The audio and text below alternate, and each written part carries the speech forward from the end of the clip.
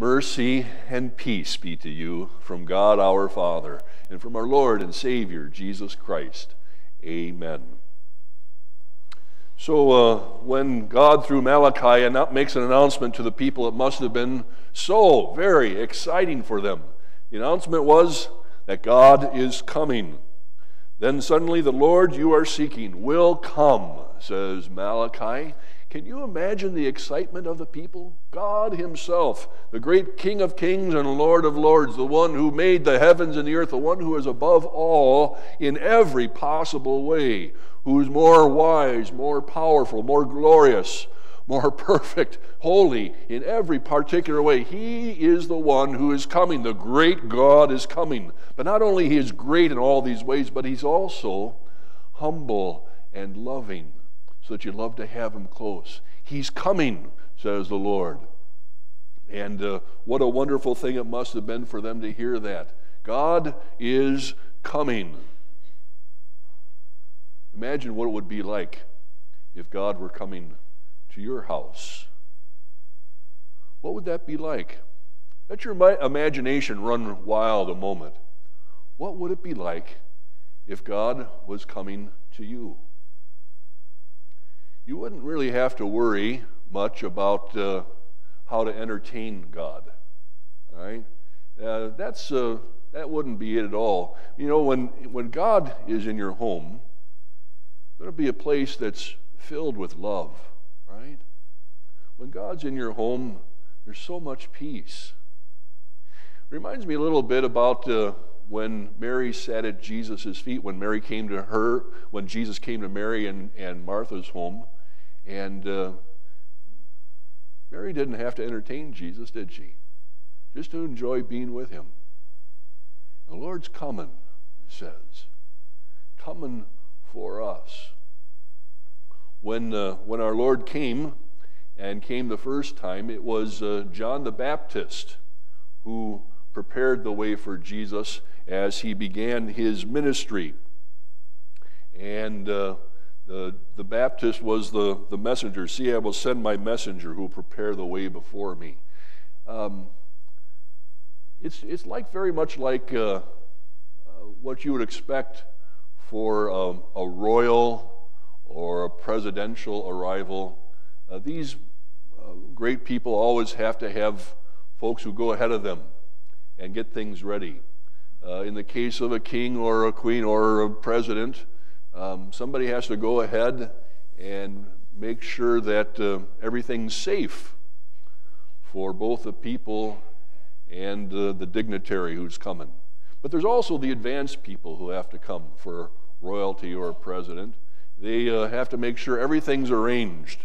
That if there needs to be a microphone or a podium or chairs and tables or however things need to be arranged, that this is all done ahead of time so that uh, the royalty can just walk in and things are prepared. Also, most often, the people themselves need to be prepared. And this is clearly what John the Baptist came to do. He came to prepare the way for the Lord. And the way that John the Baptist prepares for the Lord is that he tells the people to repent. That is, he tells them to turn from their sins. Because if Jesus is going to come into their hearts, the sin has to be cleaned out of there. Otherwise, there's no room for the king to come. And so, John's preparation is to tell the people turn from your sin, repent, and prepare the way for the Lord to come. We also need to prepare for the Lord to come to us in our day, don't we? And uh, as John described it. He says, Prepare the way for the Lord, make straight paths for him.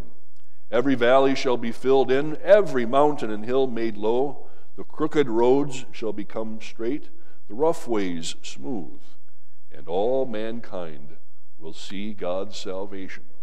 So we also in our day need to prepare for God's coming. We need to take down these mountains of sin that have been built up. We need to turn from those sins and confess it so that it can be taken away. We need to fill in the, the dark valleys of the things that we're ashamed that we have done. They need to be covered in. The crooked ways that we're accustomed to going need to be made straight. The uh, rocky road of our lives need to be made smooth so that when the Lord comes, he may come into our hearts and dwell within us. This is what God calls us to do prepare the way for the Lord. And so we do it. Because the Lord you are seeking will come to his temple. When it says that the Lord will come to his temple, you think back to the day of Malachi and even to the day of John the Baptist and Jesus. And where was the temple? Jerusalem. That was headquarters for God's people and for God Himself. There was God right in the temple in the very highest part of the city. But there's, there is no temple on that mountain uh, that uh, Temple Mount in Jerusalem anymore. No temple there. So, where does God come today? He comes to you and me. Because our bodies are the temple of God now. The Holy Spirit dwells within us and all who believe in Him. And so, when it says the Lord will come to His temple, He's coming to us Of course, he's already come, hasn't he? He's already here. And yet, uh, we are still to prepare the way for the Lord, for he's coming in another way, coming again, coming on the last day. And he certainly will come. But what we read here in Malachi 3:2 is not very encouraging. Who can endure the day of his coming? Who can stand when he appears? For he'll be like a refiner's fire or a launderer's soap. He'll sit as a refiner and purifier of silver. He'll purify the Levites and refine them like gold and silver. Who can endure the day of his coming? Who can stand when God comes again? Because make no mistake about it, when God comes, he comes to judge. Verse 5 makes that so clear. God says, I will come near to you for judgment. I will be quick to testify against, and then he lists all kinds of evildoers. God's coming, and he's coming for judgment. Who can stand? Who can endure his coming? Who wants to endure the refiner's fire? Terrible stuff. And we are not able to prepare ourselves for his coming. And so he himself does it. Our Lord himself prepares us for his coming so that we will be able to stand in the judgment. That's why Jesus came the first time. As a baby, he lived a full and perfect life for us. John the Baptist uh, prepared the way for him as he began his public ministry, but there was nobody, not even John, who could prepare Jesus for the end of that earthly journey.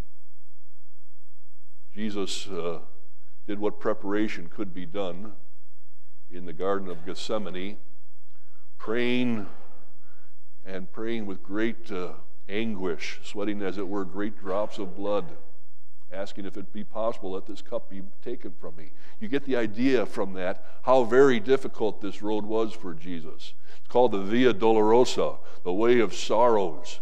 Great suffering and great pain he went through as he went to the cross for us. Great suffering. And there he died. Rising again on the third day, we can't forget about that. But because he made that journey, when he comes again, we can be prepared for that.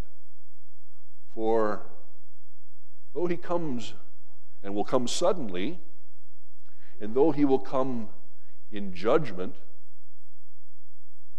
he will judge righteously, justly. But that does us no good since we're sinful people. But because of what Jesus has done on that cross, he takes away our sin. He takes away our guilt. He prepares us for his coming by taking away all the sinful, evil, awful stuff and replacing within us his righteousness. And when he judges us, he will only see his righteousness in us. Oh, isn't our God so good? He will righteously, justly judge us innocent because he's made us so, because he has prepared us for his coming again. And so we are prepared for the coming of the Lord. We, we will be able to stand when he comes. We will be able to endure, for he will justly, rightly judge us as his own and bring us on that wonderful journey to heaven. Prepare the way for the Lord. Luke quotes Isaiah. But the Lord's already way has already been prepared, and yet he still calls it to us to prepare the way for the Lord. The way that needs to be prepared now is a way for the Lord to come into the hearts of people who don't have a relationship with Him. There are a number of reasons why somebody may not have a relationship with Jesus. It may be that they've never really known Him. Oh, maybe they've heard about Jesus, but don't really know what He's done for them, don't know how He loves and forgives. They don't understand. They've never had a relationship. And for others, Maybe they had a relationship with Jesus at one time, but have drifted away. No matter what the cause, for those who don't have a relationship with Jesus, who are not ready for Him to come, God wants us to prepare the way for Him to come to them. So, how do you do that? You love them. You love people and love them deep, love them deeply, sincerely, really care for people, develop relationships with people. It takes time to do that, I understand, but it's so important. You develop relationships with people, and they come to know that it, you are sincere, that you really love them. And at some point, you're going to have an opportunity to let them know about Jesus. When the time is right in their lives, when they need to hear about it, because they know that you love and care about them, they'll hear from you. And the Spirit does His work.